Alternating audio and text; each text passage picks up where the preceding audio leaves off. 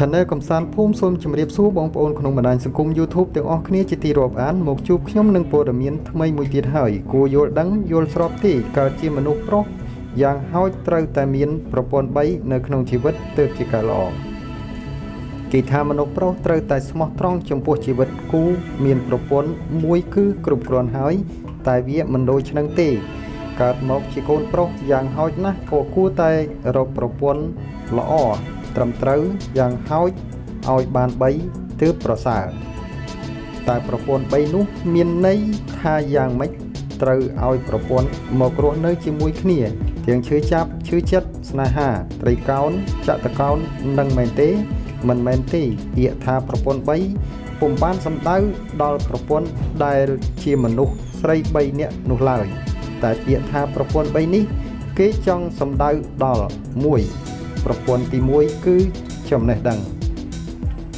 ក្នុងនាមជាមនុស្សប្រុសជាកូនប្រុស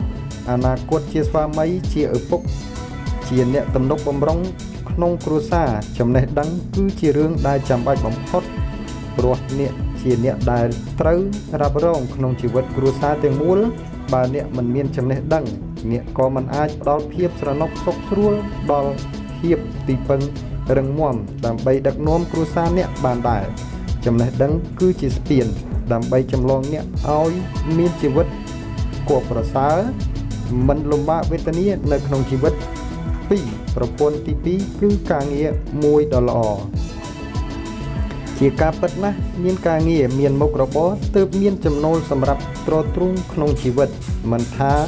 អ្នកនៅម្នាក់ឯងឬមានគូគ្រួសារទេ អ្នកត្រូវតែមានការងារមួយឲ្យនឹងថឹងទើបអ្នកមិនបាច់ត្រូវខ្វល់ចិត្តគិតច្រើនថាអ្នកនឹងខ្វះខាតលុយកាក់ជាចាំបាច់ការងារការលើកមុខមាត់ការលើកកិត្តិយសសម្រាប់អ្នកនិងក្រុមគ្រួសារអ្នកដែរបើគ្មានការងារអ្នកនឹងក៏គ្មានប្រាក់ចំណូលបើអ្នកគ្មានប្រាក់ចំណូលអ្នកនឹងក្របើអ្នកក្រគេនឹងមើលងាយអ្នក កុំថាអ្នកដតីសំបីតែបងប្អូនអ្នកក៏មើលងាយអ្នកថាគ្មានកំណត់ដែរទី3ប្រព័ន្ធទី3គឺឧត្តមភរិយាអ្នកណាអ្នកណាក៏ត្រូវតែមានគូហើយគ្រប់គ្នាប្រកាសថាចង់បានគូជីវិតដែលល្អហើយដូច្នេះក្នុងនាមជាកូនប្រុសអ្នកត្រូវរកប្រពន្ធទី1ប្រពន្ធទី2ជាមុនសិនបើអ្នកអាចរកប្រពន្ធ ទើបអ្នកអាចរកប្រពន្ធទី3នេះបានល្អតែបើអ្នកគ្មានទី1ទី2អ្នកក៏មិនគួរមានប្រពន្ធទី3ដែរព្រោះអ្នកនឹងកាន់តែលំបាកដុនដាបក្នុងជីវិត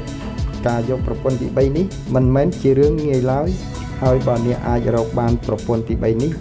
ជាឧត្តមភរិយាពិតប្រាកដហើយនោះជីវិតអ្នកនឹងកាន់តែរីកលូតលាស់ដុះដាលភ្លឺត្រចះត្រចង់សូមអរគុណ រាល់ការតាមដានទស្សនាវីដេអូរបស់ខ្ញុំបាទសូមកុំភ្លេចជួយចុច Subscribe Channel របស់ខ្ញុំបាទម្នាក់មួយផងដើម្បីទទួលបានវីដេអូនិងព័ត៌មានថ្មីៗជាច្រើនទៀតសូមអរគុណសូមជម្រាបលា